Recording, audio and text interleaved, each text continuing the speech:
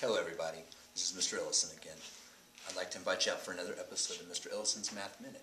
And today we're going to deal with finding the area of a triangle. Now, a triangle is a three-sided figure. It's a polygon.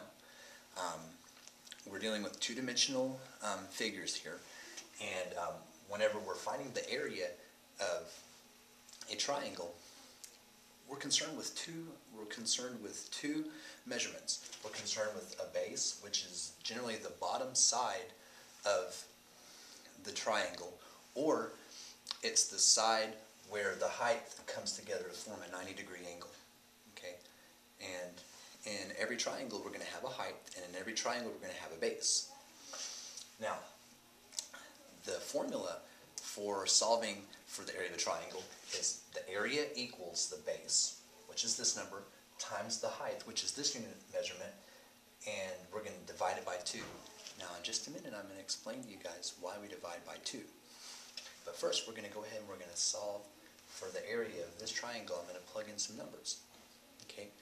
And then what we're going to do is we're going to plug those numbers into this formula and see what we get as a unit of measurement. Now, let's just say for the height, the height of my, um, my triangle is 12 yards, okay? And the base of my, um, the base of my triangle, let's just say it's 14 yards, okay? Now, what we're going to do is we are going to plug in our, we're going to find our base, which is 14, and um, we're going to remember that it's in yards, so it's 14 yards times whatever our height is, which is 12 yards. And we're going to take that number and multiply it, those two numbers multiply them, and divide by 2. Okay?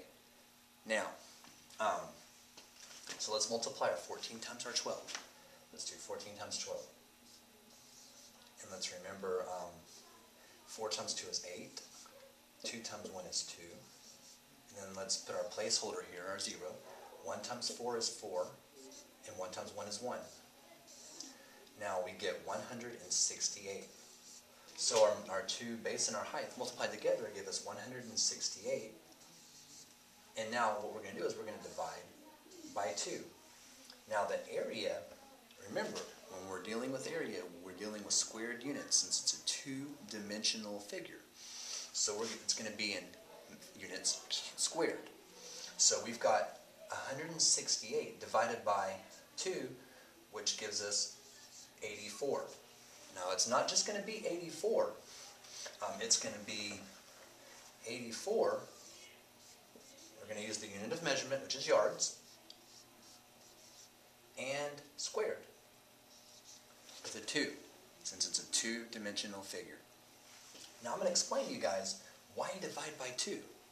Now, if you look at this triangle, if we draw another triangle on top that's the same as it, has the same length for its base on the top as it does on the bottom, and it has the same height on the other side, you've got two triangles that are exactly the same. Okay? Now, this triangle has the area of 84. What's that triangle going to have? An area of 84 yards squared. And if you add the 84 and the 84 yards together, you get 168. So a triangle is nothing more than one half of a quadrilateral. So that's why you divide by 2, because you cut the quadrilateral in half. You divide by 2, and when you cut in half, you divide evenly by the number 2. Now that's this is how you find the area of a triangle. Thank you for coming out. I hope this tutorial was very helpful. Um, have a nice day, and I look forward to seeing you again. Bye.